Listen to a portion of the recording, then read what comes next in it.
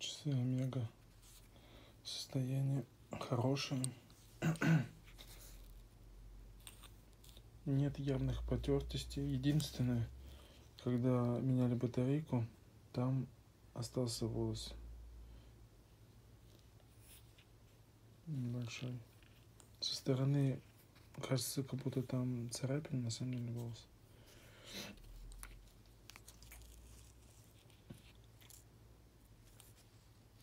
Состояние ремешка.